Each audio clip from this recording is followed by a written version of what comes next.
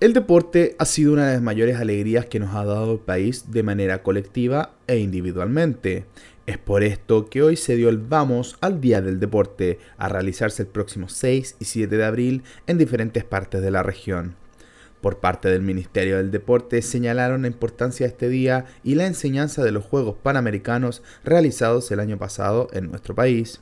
Sí, la verdad es que para nosotros es súper importante conmemorar esta fecha, celebrar el Día del Deporte a nivel nacional. Van a haber eh, más de 350 eventos en simultáneo a contar del día eh, perdón, sábado 6 y, domingo 7 de abril nosotros nos vamos a enfocar el día 7 de abril con actividades en nuestro parque estadio fiscal con distintas actividades a contar de las 9 de la mañana hasta las 14 horas.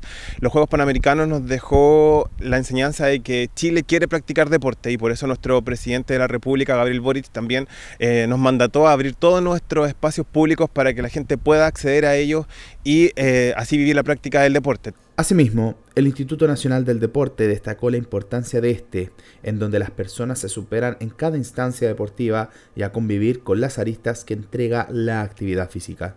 Ahora, una cosa relevante es decir que el deporte no es un lujo. El deporte obedece a profundas necesidades humanas. Todos los niños, todos los jóvenes del mundo, cualquiera sea su país, cualquiera sea su condición social, tienen algo en común, las ganas de jugar, el, el placer del movimiento. Entonces el deporte eh, no solo la mejor ISAPRE, digo yo, como ya lo decía el, el, Ceremi, sino que el deporte permite, entre otras cosas, enfrentarse pacíficamente con un adversario, aprender a aceptar el triunfo y la derrota, conocerse a sí mismo en sus propios límites, aprender a trabajar en equipo. Pero también uno de los grandes valores de la región en el ámbito deportivo es la actividad paralímpica, la que ha traído varios exponentes que hoy en día son de nivel internacional.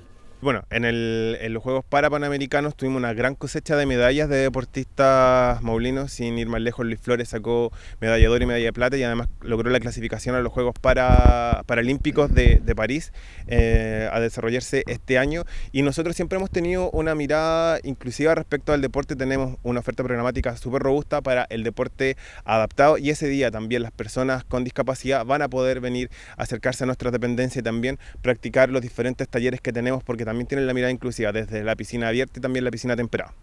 Para la autoridad regional esto los honra, pero también es un desafío, ya que implica seguir el compromiso de mejorar para sacar exponentes de nivel nacional.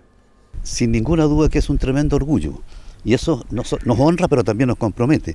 Nos honra porque representan a la región y al país, pero también nos compromete para trabajar más en la sistematización, en, el, apoyo más científico al deporte. Estamos precisamente eh, trabajando en eso, de tal forma de que, aparte de expresar nuestra gratitud, expresar nuestro compromiso para seguir trabajando en el deporte de alto rendimiento, que es relevante, porque los deportistas de alto rendimiento lo que hacen es generar un efecto multiplicador, porque mucha gente empieza entonces a sumarse.